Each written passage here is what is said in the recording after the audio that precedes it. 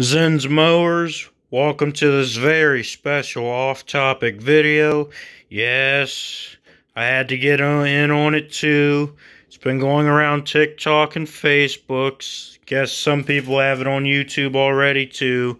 Now, you let me know in the comments how these brooms are standing up with their handles.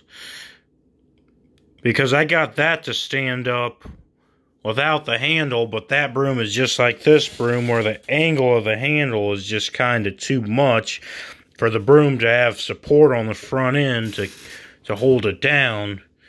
I, I just want to know how this is working, guys. Just leave me some comments. I really hope you enjoyed this video.